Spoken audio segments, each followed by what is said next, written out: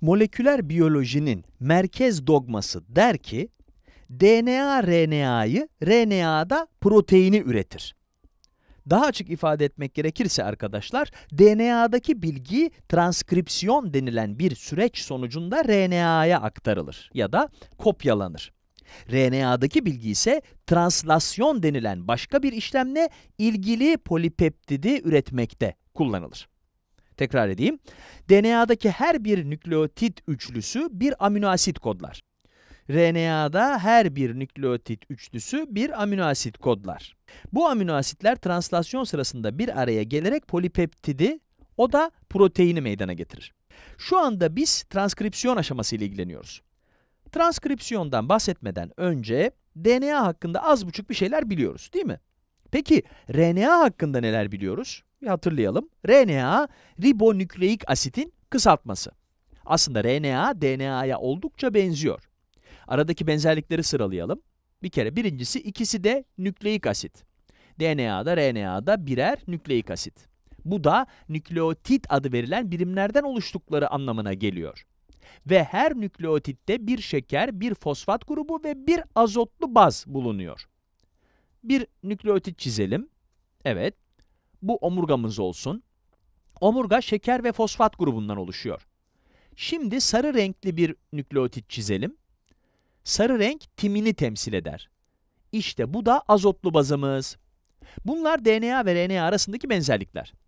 Peki farklar neler? Şurada kendimize biraz yer açalım. İlk bakışta dikkatimizi çeken şey DNA'nın çift iplikli olması. RNA ise tek ipliklidir. Yani genelde tek ipliklidir diyelim. Çünkü bazı istisnalar var. Bazı virüslerin RNA'ları çift iplikli olabiliyor. Ama genel olarak RNA tek ipliklidir.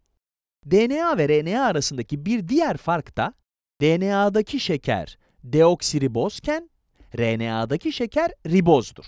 Esasında bunlar çok benzer şekerler. İsterseniz deoksiriboz ve riboz neye benziyor bir bakalım. Soldaki bu molekül deoksiriboz. Sağdaki molekül ise riboz. Birbirlerine acayip derecede benziyorlar öyle değil mi? Aralarındaki tek fark bu noktada deoksiribozda hidrojen varken ribozda OH olmasıdır. Yani bir oksijen ve bir hidrojen var demek. Zaten buradaki deoksi e, kısmı oksijensiz anlamına geliyor. Yoksa riboz aynı. Deoksiriboz, riboz. Normal bir ribozda bulunan oksijen bu molekülde yok. Deoksi ribozda yok. Yani oksijensiz riboz demek oluyor. Deoksiribozla riboz arasındaki tek fark bu arkadaşlar. DNA ve RNA arasındaki farklardan bahsetmeye devam edecek olursak, devam ediyoruz. Bu ikisi arasındaki bir diğer fark da şu.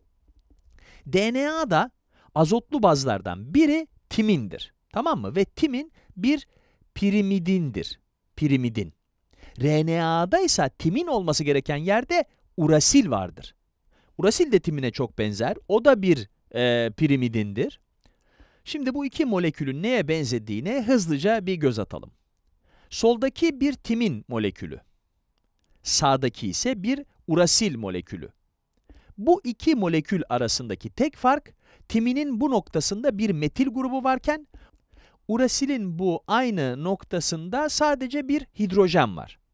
Yani bu ikisi birbirine çok benziyor kısacası. Değinmek istediğim bir fark daha var. DNA RNA'dan daha kararlıdır. Bu da iyi bir şey. Çünkü DNA genetik bilgiyi kalıcı olarak saklayan şeydir.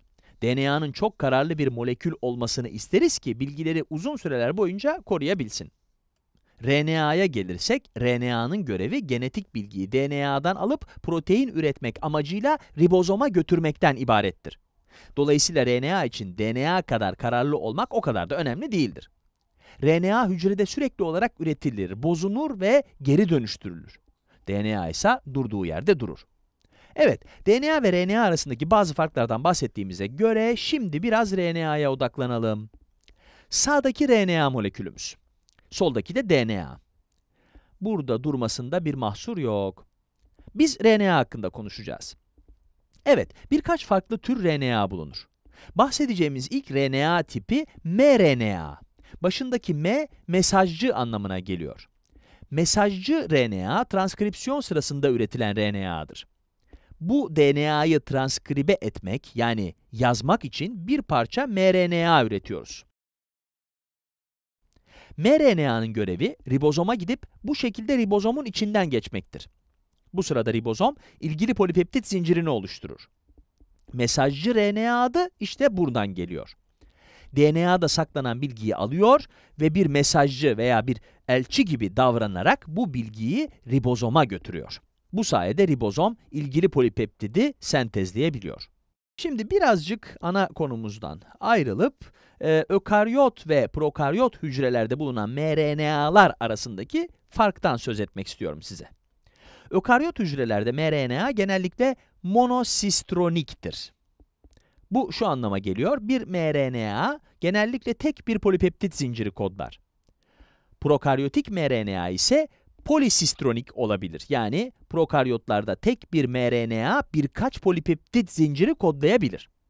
Bu durumda mRNA'nın bir parçası bir polipeptit kodlarken başka bir parçası başka bir polipeptit kodlar. Belki başka bir parçası da üçüncü veya hatta dördüncü bir polipeptit kodlayabilir. Genellikle polisistronik bir mRNA'nın kodladığı polipeptitler işlevsel olarak bir şekilde alakalı polipeptitlerdir. Bahsetmek istediğim bir diğer fark da mRNA'nın üretildiği yer ile ilgili. Ökaryot hücrelerde mRNA çekirdekte üretilir. Dolayısıyla transkripsiyon da çekirdekte gerçekleşir. Kısaltarak yazıyorum. Evet. Prokaryot hücrelerde ise çekirdek bulunmadığı için mRNA sitoplazmada üretilir. Haliyle transkripsiyonda ne oluyor? Nerede? Sitoplazmada gerçekleşiyor. Transkripsiyonda öyle yazıyorum ki kısa olsun. Evet. İlginç bir şekilde prokaryot hücrelerde translasyon, transkripsiyonla aynı anda gerçekleşebilir. Yani mRNA bir yandan üretilirken bir yandan da ribozoma bağlanıp çevrilmeye başlayabilir. İki sürecin de aynı yerde gerçekleşiyor olması bunu mümkün kılıyor. Ökaryot hücrelerde ise böyle bir şey mümkün değil. mRNA çekirdekte üretilir, sonra çekirdekten çıkar ve sitoplazmaya girer. Ribozom tarafından çevrilmeye orada başlar. Değinmek istediğim son fark da şu. Prokaryot hücrelerde birincil transkript, ne demek olduğunu birazdan anlatacağım. Birincil transkript, mRNA'nın kendisidir. Birincil transkript, transkripsiyon sırasında üretilen RNA'ya verilen isimdir arkadaşlar. Prokaryot hücrelerde üretilen bu RNA bizzat mRNA'dır. Yani ribozoma gidip çevrilmeye hazırdır. Ökaryot hücrelerde ise durum böyle değil.